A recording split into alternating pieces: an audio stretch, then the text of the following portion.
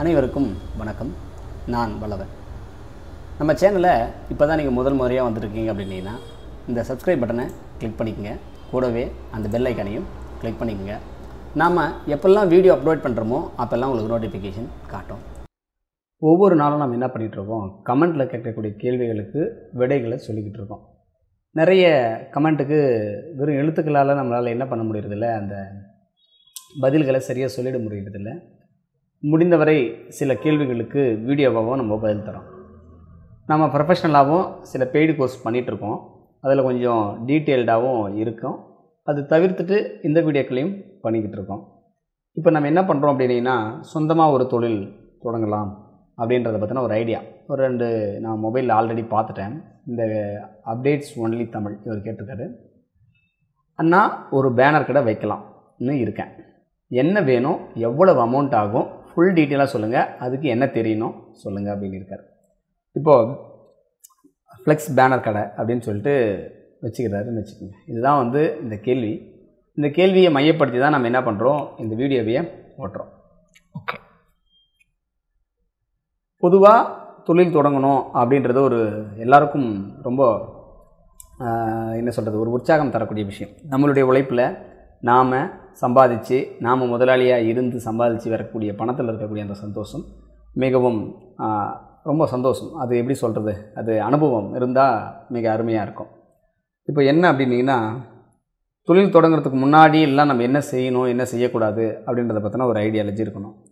இது digital flex பற்றின வீடியோவாக இருந்தால் கூட சொந்தமாக தொழில் தொடங்கணும் அப்படின்னு இருக்கிற எல்லா தொழில் முனைவோர்களுக்கும் இந்த வீடியோ கட்டாயம் ஓரளவுக்கு உபயோககரமாக இருக்கும் அப்படின்னு நான் நம்புகிறேன் இப்போ என்ன அப்படின்னீங்கன்னா இது ஒரு ஆல்ரெடி ஒரு வேர்டு நான் போட்டுட்டேன். என்னென்ன பேசணும் அப்படின்னு சொல்லிட்டு. ஓகே தொழிலில் ஈடுபடணும் அப்படின்னா நமக்கு என்ன பண்ணணும் அப்படின்னா லாப நஷ்டங்கள் வரக்கூடியதெல்லாம் ரொம்ப இயல்பு. அதை சரியாக பக்குவப்படுத்தி பார்த்துக்கணும். அதுக்கு ஒரு இது தேவை. எல்லா தொழிலுக்குமே சில குறிப்பிட்ட விஷயங்கள் அடிப்படையாக இருக்கும். அது என்னென்ன அப்படின்னு நம்ம பார்த்துருவோம். ஒன்று மூலதனம். அதாவது பணம். நீங்கள் தொழில் எந்த தொழில் தொடங்குறீங்களோ அந்த தொழிலுக்கான மூலதனத்தை முதல்ல நாம் செஞ்சிடணும். ரெண்டாவது அந்த தொழிலோட தன்மை. அது எப்படியாப்பட்ட தொழில் அது எங்கே தொடங்குறோம் அதோடய இடம் ரொம்ப முக்கியம். அந்த தன்மை அந்த இடத்துக்கு அது பொருத்தமானதாக இருக்குமா அப்படின்றது ரொம்ப முக்கியம். அதே தான் அந்த இடமும் கூட. அதே போல் காலம். எல்லா தொழிலுமே எல்லா காலத்துக்கும் சரிப்பட்டு வராது. சில தொழில்கள் சில நேரங்களில் தொடங்கணும். அந்த இடங்களில் தொகுக்க தொடங்கும் போது மட்டும்தான் அது வந்து என்ன ஆகும் வெற்றிகரமாக அமையும். அதனால் இடம் காலம் இது எல்லாமே அந்த இடத்த அவங்களுக்கு சரியாக இருக்கணும். சில பேருக்கு சில காலம் ஒத்தே வராது. மழைக்காலங்களில் ஒரு தொழிலை நம்ம தொடங்கிட்டோம் அப்படின்னா அந்த தொழில் செய்கிறதுக்கான ஏன்னா நம்ம சந்தைப்படுத்துறது அப்படின்னு ஒன்று இருக்கு இல்லைங்களா? இந்த சந்தைப்படுத்துதல் அப்படின்றத ஒன்று மழைக்காலத்தில் சரியாக முடியாது. அதனால் அதை நம்ம பார்த்துக்கணும். அதே போல் வாடிக்கையாளர்கள் இதோடைய சோர்சஸ் ஆடியன்ஸ் யார் இருக்கவங்க அப்படின்றத நம்ம தெரிஞ்சுக்கணும். இன்னும் கொஞ்சம் விஷயங்கள் இருக்குது இப்படி பல்வேறு நிலையில் தொடங்கப்படுற ஒரு தொழிலை முதல்ல சந்தைப்படுத்தணும். அதுக்கப்புறம் அதை தொடர்ந்து வழிநடத்தணும். அதுக்கப்புறமா தான் அது வெற்றி பாதைக்கு போகும். ஒரு தொழிலோட தன்மை அது எப்படி இருக்கும் அப்படின்னு நம்ம பார்த்துருவோம். இப்போது ஒரு ஃப்ளெக்ஸ் கடை வச்சுட்டீங்க அப்படின்னு வச்சிங்களேன். நீங்கள் நினைக்கிற மாதிரி அந்த தொழில் நம்ம இந்த தொழிலில் இவ்வளோ காலமாக இருக்கிறோம். இப்போ இவ்வளோ காலம் இருந்ததுனால நமக்கு என்ன ஆயிடுச்சு அப்படின்னா நமக்கு இங்கே இருக்கக்கூடிய அந்த கஸ்டமர்ஸ் எல்லாம் தெரியும். கடை வச்ச உடனே நல்லா ஓடிடும் அப்படின்ற நினைப்பு ரொம்ப தவறானது. ஏன் அப்படின்னா எல்லா தொழிலுமே வச்ச உடனே ஓடுறது. சில பேருக்கு கடை வச்ச உடனே அது ராசியாக கூட இருக்கலாம். ரொம்ப வேகமாக அமோகமாக போய்கிட்டு இருக்கும். சில பேர் வச்சு ஆறு மாதம் வரைக்கும் கூட பார்த்தீங்கன்னா ஈ ஓட்டிக்கிட்டு இருப்பாங்க. அதனால் அது ரொம்ப முக்கியமானது. அப்போது ஒரு தொழில் சரியாக ஒரு ஸ்டாண்டர்டு பொசிஷன் நிலையான தன்மைக்கு வரணும் அப்படின்னா அதுக்கு ஒரு ஆறு மாத காலம் இன்னும் கொஞ்சம் சரியாக சொல்லணும் அப்படின்னா ஒரு வருட காலத்தை நம்ம என்ன பண்ணணும்? அந்த தொழிலோட நிலைப்புத்தன்மைக்கு இடம் கொடுக்கணும். இப்போது இதோட கணக்கு போட்டுடலாம் நம்ம. இப்போது டிஜிட்டல் ஃப்ளெக்ஸ் பேனர் அப்படின்னு சொல்லிட்டு கணக்கு போட்டோம் இல்லைங்களா? இப்போது நீங்கள் முதல்ல செய்ய வேண்டியது என்ன அப்படின்னா எந்த இடம்? பிளேஸ் பிளேஸை முதல்ல என்ன பண்ணிடலாம்? சூஸ் பண்ணிடலாம்.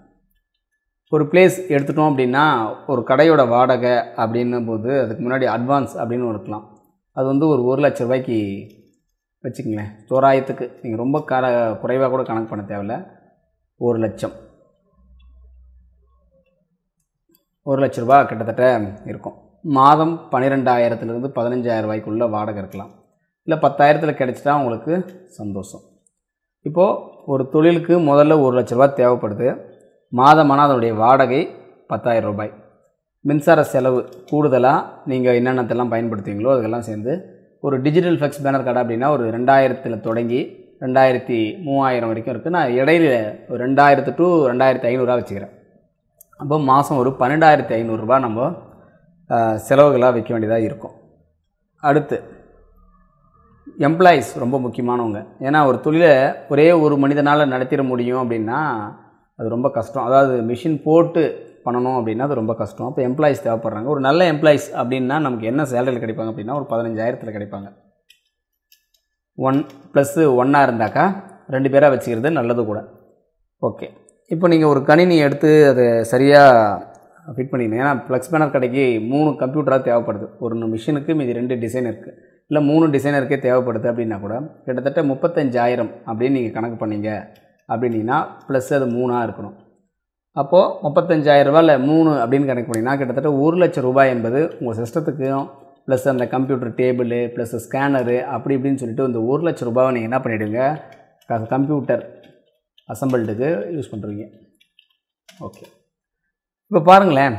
அது ஒரு ஒரு லட்சம் இது ஒரு ஒரு லட்சம் ரெண்டு லட்ச ரூபாவும் வெறும் இடம் மற்றும் அந்த கம்ப்யூட்டர் அசம்பிள் பண்ணுறதுக்குமே உங்களுக்கு சரியாக போயிடும். அதுக்கு முன்னதாக நீங்கள் அந்த இடத்த வந்து பெயிண்ட் பண்ணுறது அதுபோல் கொஞ்சம் சின்ன சின்ன வேலைகள் ஆல்டர்னேட் ஒர்க் ஏதாவது பண்ணுறதா இருந்தாலும் கிட்டத்தட்ட ஒரு சில பத்து இல்லை பதினஞ்சாயிரங்களில் முடிஞ்சிடும் ஓகே கிட்டத்தட்ட ரெண்டு லட்ச ரூபாய் என்பது ரொம்ப பேசிக்டான விஷயத்துக்கு ஒரு ஃப்ளெக்ஸ் கடைக்கு தேவைப்படுது.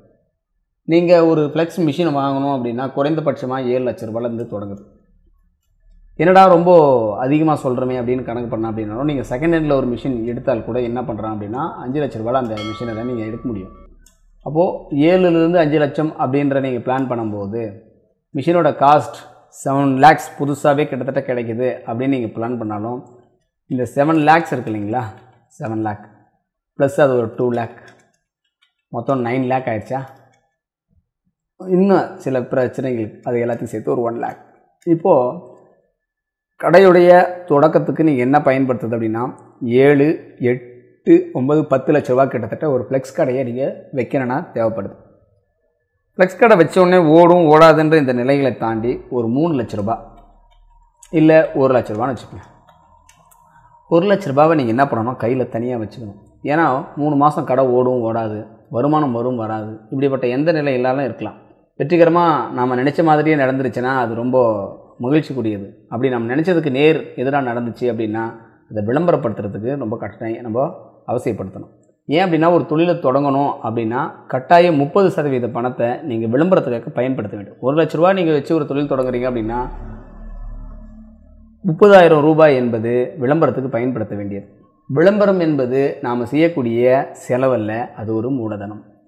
விளம்பரம் தான் நம்ம தொழிலை ஊக்குவிக்கிறதுக்காகவும் வாடிக்கையாளர்களை நம்ம பக்கம் வர வைக்கிறதுக்காகவும் பயன்படுத்தக்கூடிய கலை. இன்றளவும் கூட விளம்பரங்களை நம்பி மட்டும்தான் பல்வேறு தொழில்கள் நடைபெற்றுக்கிட்டு இருக்கு. ஆன்லைனில் டிஜிட்டல் மார்க்கெட்டிங் அப்படின்னு ஒரு தனி ஒரு விளம்பர பிரிவே வளர்ந்துக்கிட்டு வந்துட்டு இருக்கு அப்படின்னாக்கா அதுக்கு மூல காரணம் விளம்பரத்தினுடைய தன்மை. எந்த ஒரு பொருளையும் நம்ம தலையில் கட்டணும்னா அதுக்கு மூலதனமாக இருக்கிறது எது அப்படின்னா விளம்பரம். இந்த பணத்தை அந்த விளம்பரங்களில் போட்டு அந்த விளம்பரத்துக்கான செலவை நம்ம தலையில் என்ன பண்ணிடுவாங்க? ஏற்றிடுவாங்க அப்போது ஒரு ஃப்ளெக்ஸ் பேனர் கடை வைக்கணும் அப்படின்னா கிட்டத்தட்ட நமக்கு மிஷினோடு போடும்போது பத்து லட்சமாகவும் மிஷின் இல்லாமல் பண்ணணும் அப்படின்னா கூட கிட்டத்தட்ட ஒரு மூணு லட்ச ரூபாய்க்கு நம்ம கையில் பணம் வச்சுருந்தா இந்த தொழிலை சிறப்பாக துவங்கலாம். இது போக நான் ஸ்டூடியோ வைக்கணும்னு ஆசைப்பட்றவங்களா இருந்தால் கிட்டத்தட்ட ஒரு லட்சத்துல இருந்து கேமரா தொடங்குது. அந்த கேமரா ஒரு நல்ல கேமரா ப்ளஸ் வீடியோ கேமராஸ் தான் நீங்கள் யூஸ் பண்ணணும் அப்படின்னாக்கா இந்த மாதிரி ஒரு லட்ச ரூபாலேருந்து கேமரா தொடங்க. கூடுதலாக இந்த செலவையும் நீங்கள் ஏற்றுக்க வேண்டியதாக இருக்கும். இப்படி பல்வேறு நிலைகளில் அலசி ஆராய்ஞ்சி பார்த்ததுக்கப்புறம் எனக்கு இவ்வளவு பணம் இல்லை நான் வந்து கடன் வாங்கி தான் இந்த தொழிலை ஆரம்பிக்கிறேன் அப்படின்னா உங்களுடைய எண்ணத்தை முதல்ல மாற்றி கடன் இல்லாமல் உங்களால் என்றைக்கு இந்த தொழிலை தொடங்க முடியுதோ இப்போது கடனோட ஒரு தொழிலை நம்ம தொடங்கணும் அப்படின்னா அதுக்கான வட்டி வட்டி கட்ட முடியலனா அதுக்காக ஏற்படக்கூடிய மன அழுத்தம் இது எல்லாத்துலேயும் வெற்றிகரமாக ஒரு தொழிலை நடத்துறதுக்கு நமக்கு மிகப்பெரிய பின்விளைவுகள் ஏற்படுத்தும். இதனால் தேவையான பணத்தை சேமித்து வச்சுக்கிட்டு அதுக்கப்புறம் உங்கள் தொழிலை ரொம்ப நிம்மதியாக துவங்குங்க. அது வெற்றிகரத்துக்கு முதல்ல வழிவகுக்கும். கடனோட எந்த ஒரு தொழிலையும் நம்ம துவங்கும்போது அது மிகப்பெரிய பின்னடைவை கொடுக்கும். அதனால் தேறி வந்துட்டோம் அப்படின்னா பரவாயில்ல. முடியல அப்படின்ற பட்சத்தில் கடன்மையும் அடைக்க முடியாமல் நம்மளால் தொழிலையும் வெற்றிகரமாக நடத்த முடியாமல் போயிடும். அடுத்தது நம்ம செய்ய வேண்டிய இன்னொரு வேலை என்ன அப்படின்னா பார்ட்னர்ஷிப் அதாவது ஒரு தொழிலில் இருவேறு நபர்கள் சேர்ந்து கூட்டு தொழிலாக செய்யும்போது பணம் அப்படின்ற ஒரு பெரிய விஷயம் இருவேறு நபர்களுக்கு இடையில் சில நேரங்களில் மனக்கசப்புகளை ஏற்படுத்துறதுக்கான வாய்ப்புகள் இருக்கும். எவ்வளவு நெருக்கமான நண்பர்களாக இருந்தாலும் தொழில் அப்படின்னு வரும்போது கூட்டுறவாக வரும்போது இரண்டு நண்பர்களும் சரியான முறையில் அந்த ஒப்பந்தங்களை போட்டுக்கிட்டு அதுக்கப்புறம் இந்த தொழிலில் இறங்குறது ரொம்ப சிறப்பு. என்னை பொறுத்த வரைக்கும் நீங்கள் பார்ட்னர்ஷிப்பில் ஒரு தொழிலை தொடங்குறீங்க அப்படின்னீங்கன்னா முடிந்த வரைக்கும் அதை அவாய்ட் பண்ண பாருங்கள் முடியாத பட்சத்தில் என்கிட்ட ஒரு அஞ்சு லட்சம் இல்லை ஆறு லட்சம் இருக்குது இன்னொரு ஆறு லட்சம் தேவைப்படுற பட்சத்தில் அவனை நான் சேர்த்துக்கிறேன் இல்லை வரேன் அப்படின்றானாக்கா அந்த மாதிரி நேரங்களில் நீங்கள் என்ன பண்ணிக்கலாம்? உங்களோட தொழிலை கூட்டு சேர்த்துக்கலாம். பட் சேர்த்துக்கிட்டாலும் கூட இரண்டு வேறு நண்பர்களும் இருப்பீங்களா? உங்கள் ரெண்டு பேருக்குள்ள கருத்து வேறுபாடுகள் முடிந்தவரை தவிர்த்து விடுங்கள். கருத்து வேறுபாடுகள் வருவது போல இருந்தால் உடனே பேசி தீர்த்துக்குங்க. இல்லை அப்படின்னா யாராவது ஒருத்தர் அந்த தொழிலை எடுத்து நடத்துறதுக்கான வாய்ப்புகள் வரும். இன்னொரு நபர்களுக்கு அந்த வாய்ப்பு தவறவிட போகும்.